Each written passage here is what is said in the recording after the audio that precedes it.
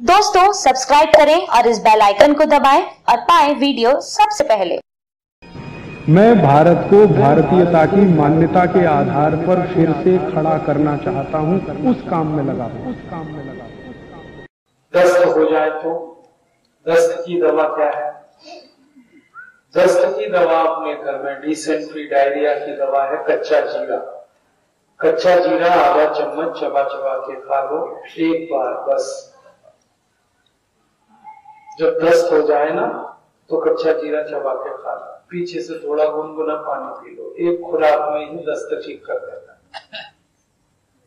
दूसरी खुराक लेनी नहीं पड़ती।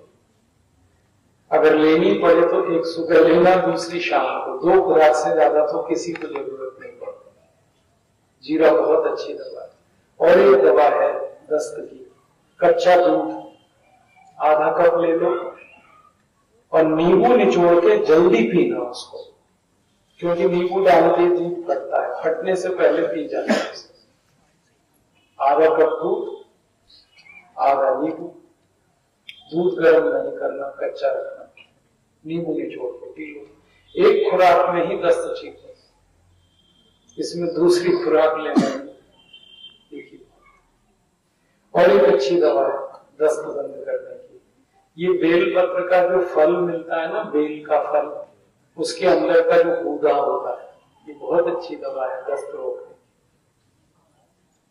बेल का गूदा खा लो, एक दो चम्मच पीछे से पानी पी लो, या बेल का चूर्ण मिलता है बाज़ार एक चम्मच बेल चूर्ण ले ले, गर्म पानी से दस्त तुरंत रोक है दोस्तों, सबसे पहले तो चैनल सब्सक्राइब करें, फिर लाइक, कमेंट और शेयर करें। और हाँ हमारा एंड्रॉयड ऐप डाउनलोड करना ना भूलें।